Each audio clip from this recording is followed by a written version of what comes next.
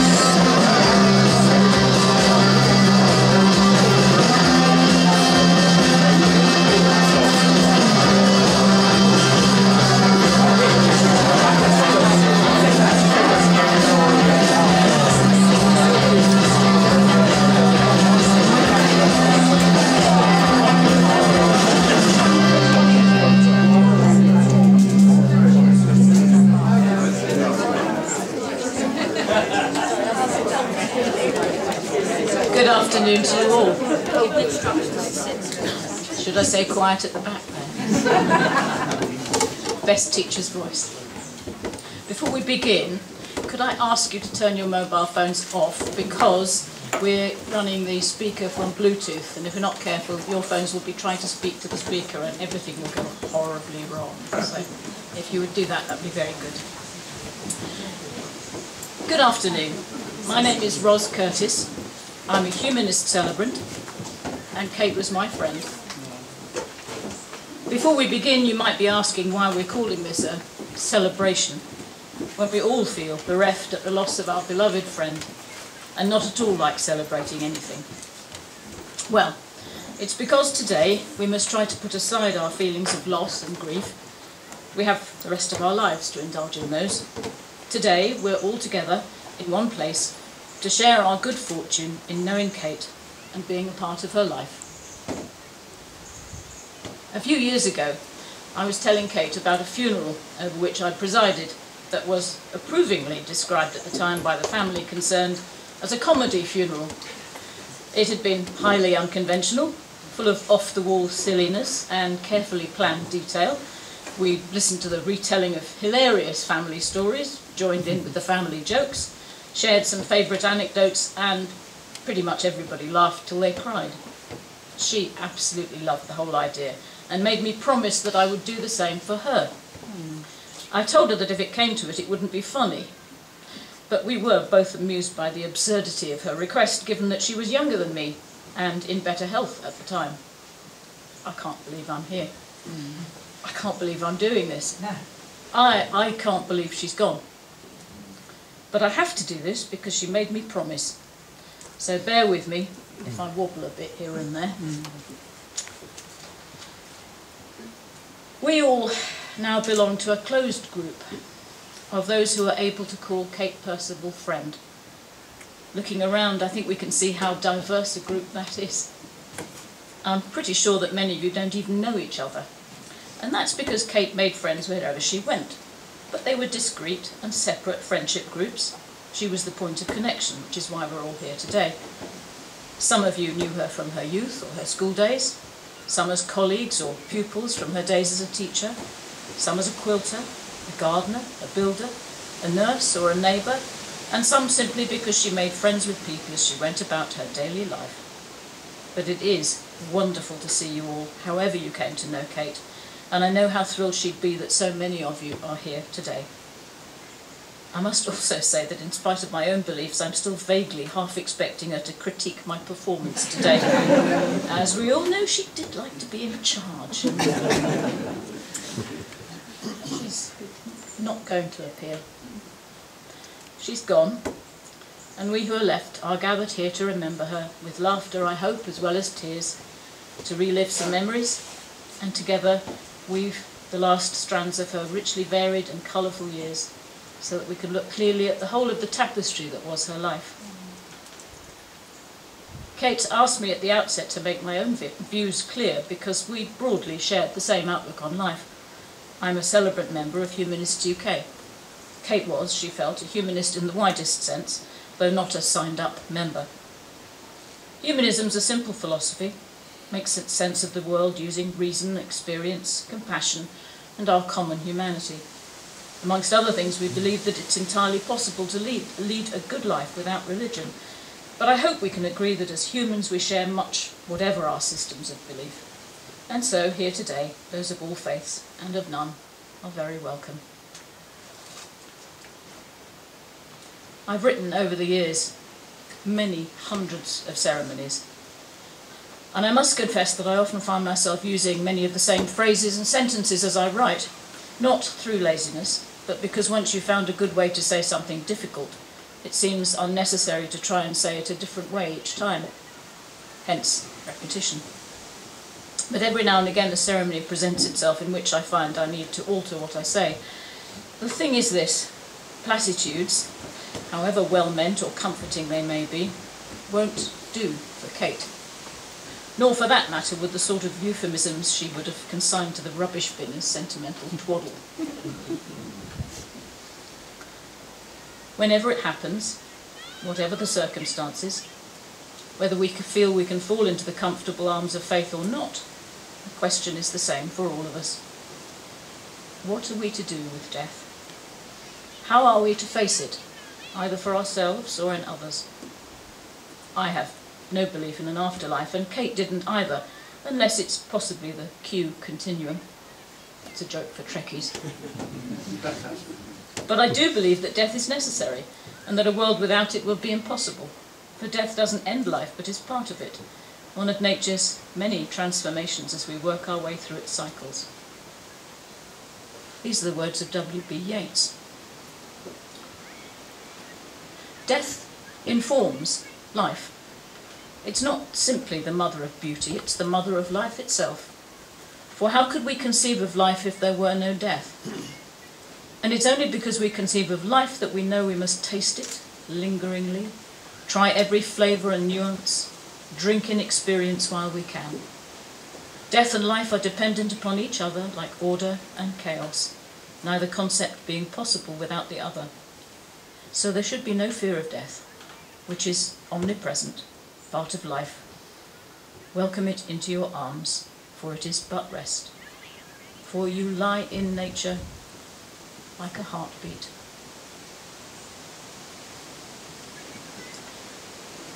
Kate wasn't a great one for poetry, but her daughter Ellen gave her a small book at Christmas called Sometimes a Wild God. The writer, Tom Hirons, commented that poetry is a form of magic and don't let anyone tell you anything different. And Ellen wanted it included today.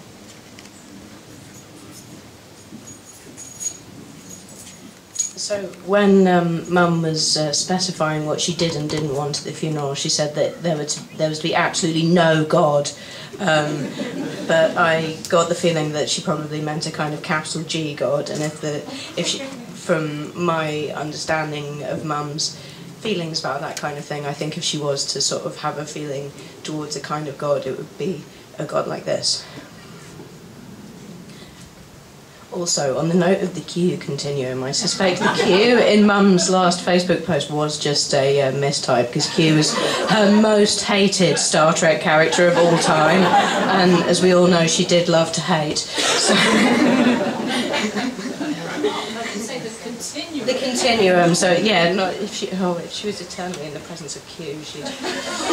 oh. Sometimes a wild god comes to the table.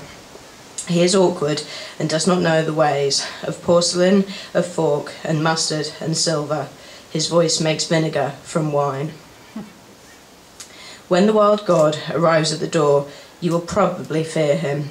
He reminds you of something dark that you might have dreamt, or the secret you do not wish to be shared. He will not ring the doorbell. Instead, he scrapes with his fingers, leaving blood on the paintwork, though primroses grow in circles round his feet. You do not want to let him in. You are very busy. It is late or early, and besides, you cannot look at him straight because he makes you want to cry. The dog barks. The wild god smiles. He holds out his hand. The dog licks his wounds and leads him inside. The wild god stands in your kitchen, Ivy is taking over your sideboard, mistletoe has moved into the lampshades, and wrens have begun to sing an old song in the mouth of your kettle.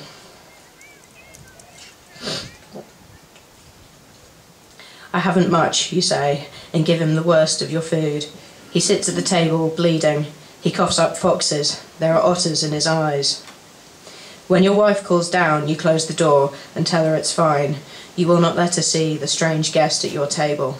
The wild god asks for whiskey, and you pour a glass for him, then a glass for yourself. Three snakes are beginning to nest in your voice box. You cough.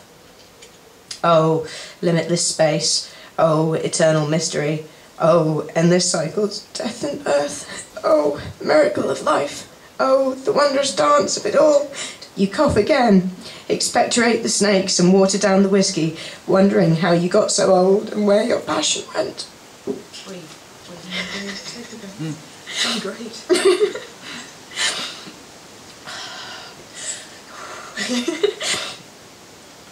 The wild god reaches into a bag made of moles and nightingale skin. He pulls out a two-reeded pipe, raises an eyebrow, and all the birds begin to sing. The fox leaps into your eyes. Otters rush from the darkness. The snakes pour through your body.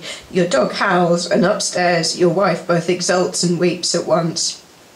The wild god dances with your dog. You dance with the sparrows. A white stag pulls up a stool and bellows hymns to enchantments. A pelican leaps from chair to chair. In the distance, warriors pour from their tombs. Slow down. Ancient gold grows like grass in the fields. Everyone dreams the words to long forgotten songs. The hills echo and the grey stones ring with laughter and madness and pain. In the middle of the dance, the house takes off from the ground. Clouds climb through the windows. Lightning pounds its fists on the table. The moon leans in through the window. The wild god points to your side. You are bleeding heavily. You've been bleeding for a long time, possibly since you were born. There is a bear in the wound. Why did you leave me to die? asked the wild god. And you say, I was busy surviving. The shops were all closed. I didn't know how. I'm sorry. Listen to them the fox in your neck, and the snakes in your arms, and the wren, and the sparrow, and the deer, the great unnameable beasts in your liver, and your kidneys, and your heart. There is a symphony of howling, a cacophony of dissent. The wild god nods his head, and you wake on the floor holding a knife, a bottle, and a handful of black fur. Your dog is asleep on the table. Your wife is stirring far above. Your cheeks are wet with tears. Your mouth aches from laughter or shouting. A black bear is sitting by the fire. Sometimes a wild god comes to the table. He is awkward and does not know the ways of porcelain, of fork and mustard and silver. His voice makes vinegar from wine and brings the dead to life.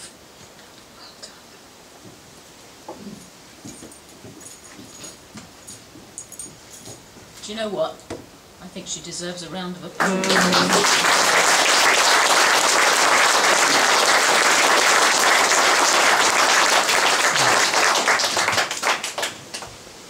You did that beautifully. Conventionally, at the centre of a funeral is a eulogy. But Kate was anything but conventional, and so this ceremony isn't either. We do, however, have a number of prepared contributions, and there are, of course, other contributions to be found in the fantastic order of service. Or is it possibly a match programme? or a fanzine. and it's been put together for us by ex-pupil Justin Swarbrick. Has he actually arrived yet? No. There's a surprise. Uh, who introduced Martin to Kate so many years ago. If there is time, I shall also throw the floor open for any further brief contributions.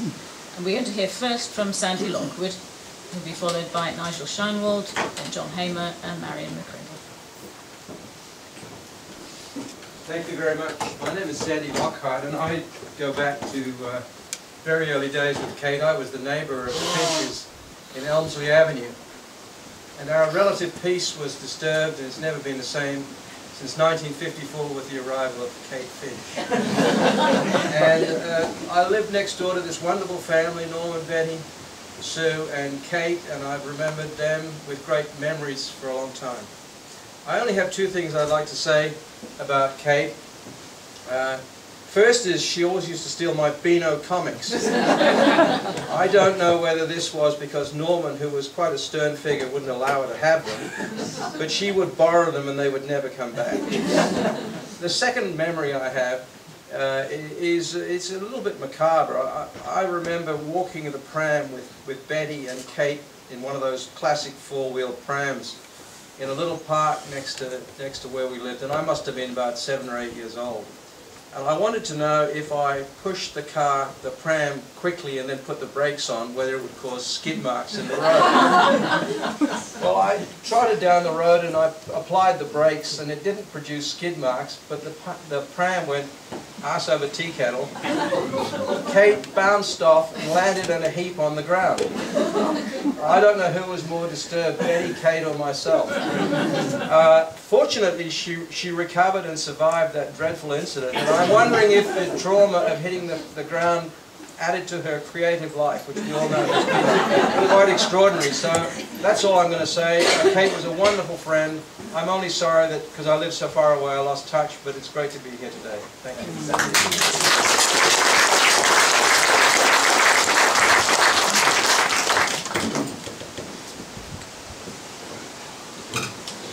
Uh, I'm Nigel Sheinwald. I'm one of uh, quite a few people um, here today who were school friends uh, of Kate um, and who can count on her as a friend over 50 years. Now for the boys amongst us, we got to know Kate through Convergence, which was the joint dramatic society of the Harrow County Girls and Boys Schools. And of course Convergence, Convergence is what most teenagers dream of. Um, and I think we discovered later that our, the two teachers who founded this were engaged in quite a bit of convergence themselves. anyway, Convergence was a success and it channeled uh, Kate's very strong interest in drama. In, she acted in plays, she was involved behind the scenes as a props mistress and production manager, and she went to see a lot of plays outside school. She was a very good and very versatile actress, and I had the good fortune to direct her in two very contrasting roles. Queen Gertrude uh, in Hamlet, um, and Mrs. Drudge, the knowing char lady uh, in the Agatha Christie play within the play in Tom Stoppard's Real Inspector Hound. Now, they were very different roles, but Katie was, of course, brilliant in both. Um, but it wasn't just the plays. The Finch family and their home became a fixed point for our sixth form social lives. Northwick Circle was a very comfortable open house, part salon, part gathering point, which occasionally descended into Party Central. Um, not maybe Studio 64, but um, we tried. We stayed in close touch with the family after they moved to uh, Chichester. The adult Kate that everyone here remembers uh, was very recognisable from the schoolgirl Kate we met 50 years ago. She was into all forms of music and art.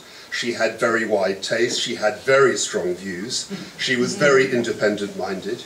Going against uh, all societal trends, she was also wonderful at making things that we couldn't do. Clothes, costumes, furnishings, painting, sketches, whatever. She consumed and mastered all arts and crafts, and no surprise either that she became a wonderful teacher, one her students remember for decades afterwards, or that she was a hugely knowledgeable gardener and lover of the great outdoors, or that humour and self-deprecation would be characteristics for life. So much we could have guessed then, but there was a lot that we couldn't have guessed.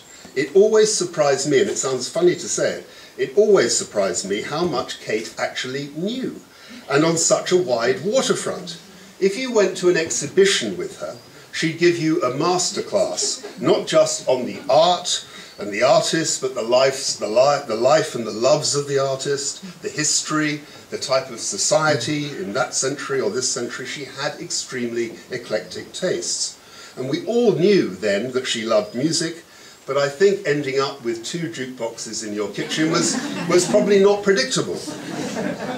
She became also quite a political animal. She was very, very well informed, with scathing views on more or less every political figure that I can think of. She was trenchant and unforgiving and hilarious. And nor could we have been certain that Kate would be the thoughtful, loyal, communicative and interested friend decade after decade that she was, uh, despite the fact that she and her friends were moving around.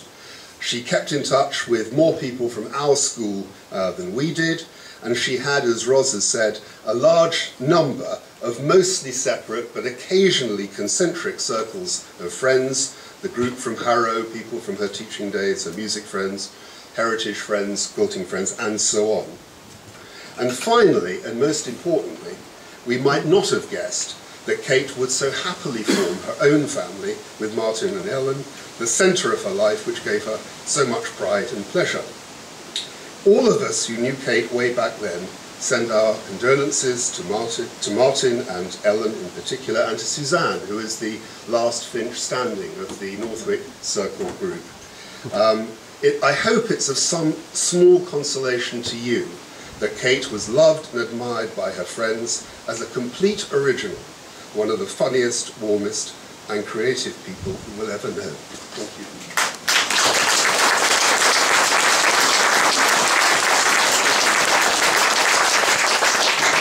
I must now introduce to you Master Hamer, who is wearing, you might notice, his school tie. Um, so my name is uh, John Hamer and uh, I knew Kate originally as Miss Finch. She was my art teacher at John Hampden Grammar School in High Wycombe. I met her in 1992 and it's a great honour to be asked to speak here today. In fact, this is probably the only bit of homework I've ever got into Miss Finch. That's true. the best way to describe her back then was that she was a character. At the time I felt that she was maybe a little eccentric but as a teacher now myself, I can appreciate that actually what she had was a real passion, a real passion for both her students and to her school.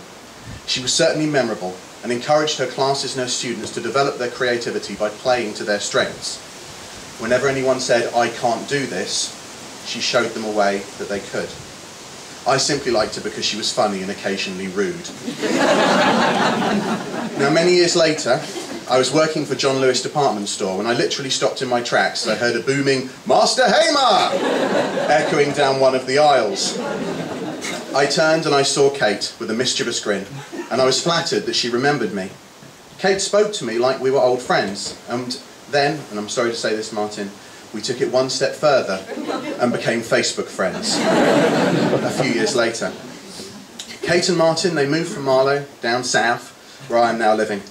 I'd like to think this was so that she could be closer to me, but I don't think that's really the reason. I enjoyed my time with Kate. She came to watch my boy play football in Stubbington. We spoke about superhero films and Star Wars, and we reminisced about days at Hampden.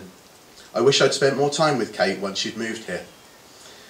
In June this year, Kate contacted me to tell me that her condition had regrettably worsened, and she was and it was laughing at the treatments that she'd been given. She knew that she didn't have long left at this point, and she wanted greatly to do something with her stockpiled art and textile supplies that filled her house. She wanted to pass them on to people who would appreciate and use them, and I know that there are several people here today that have received gifts from Kate. She told me that she had a few canvases and materials that she wanted to donate to people at my school. Just a few things. We ended up filling four cars worth. I needed to call the head of textiles with her car to come as well as Kate became more and more excited as she went through the house at the thought of what students could do with her donations. When our textiles teacher eventually got it to school and saw what Kate had actually given her, she started crying. As her students could never normally dream to be able to use some of these materials or tools. The creative arts, arts aren't exactly a priority for the government, current government, as Kate may have told you in passing. it will be a great joy and a pleasure for me to see Kate's donations being used by students at my school over the next few years. The thing that she has, things that she has gifted to us will support students in creating fantastic artwork, beautiful textile pieces, which I know she would have loved to have seen. As Kate no doubtedly, sorry, undoubtedly lives on through all of her designs, through all of her artwork and her quilts that she poured her heart and soul into, she will now also be living on in the designs, the artwork and the creations of generations of students to come. We never know how much and how far the reach and influence of our lives will be. With Kate, I have a feeling she's going to be immortal. Mm.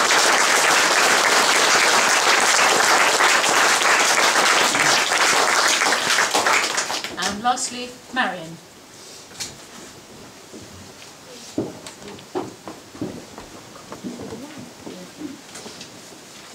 Just as well we were told to write it down, it would have all gone after today. Sadly, I did not have the pleasure of knowing Kate for as long nor as well as many of you here. I met her through the Quilters Guild of the British Isles when she was stewarding alongside her modern quilt colleagues at one of the AGMs. I think I got adopted at dinner, being on my normal um, lonesome, and she drew me a design on the back of my place card, which I kept. I don't know why it was called spiced koala. I have no idea if that has any significance. But, you know, and then when I went down to see her at one of her many wakes, gosh, I was scared to go, um, she very kindly sent me some silks. So I thought the least I could do would be to make up a design. So, sorry, Kate, it's, it's sort of like the best I could do, but it's your fault if you don't like it. It was at the end of the following Festival of Quilts, which is something we have in the Guild in, well, we promote in the Guild in Birmingham each year, that she came to me with a proposal. Traditionally, the four exhibiting groups of the Guild show their work separately, you know, walls, barriers. But Kate's idea was that we should have an exhibition where all the five Guild groups should work together.